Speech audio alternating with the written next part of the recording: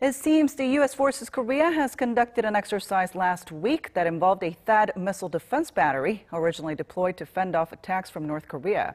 According to a photo uploaded by the 35th Air Defense Artillery Brigade on its Facebook page, the week-long exercise initiated last Monday took place at Camp Humphreys in Pyeongtaek, Gyeonggi-do Province, and not at the missile defense base in Seongju. An official from U.S. Forces Korea says the exercise, which used inert missiles, was aimed at mounting missiles on the launcher.